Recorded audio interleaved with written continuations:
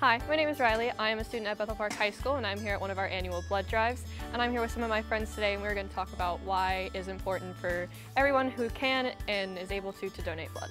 Every two seconds, somebody in the United States needs blood. A single car accident can require as many as 100 pints of blood.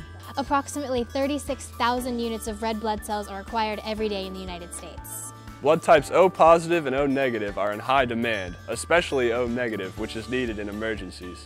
Nearly 7 million Americans donate blood every year. My name is Owen Campbell. I helped organize the blood drive this year. This is the perfect time to do a simple act of donating blood. Every drop of blood donated at this event will help fund a scholarship donated by Vitalant to one Bethel Park student. The good news is, donating blood is a safe and effective way to help your community. Donors must be in good health and meet certain weight and age requirements. Some restrictions apply, such as waiting periods after certain events. So please come out into any of our blood drives and make a difference in people's lives.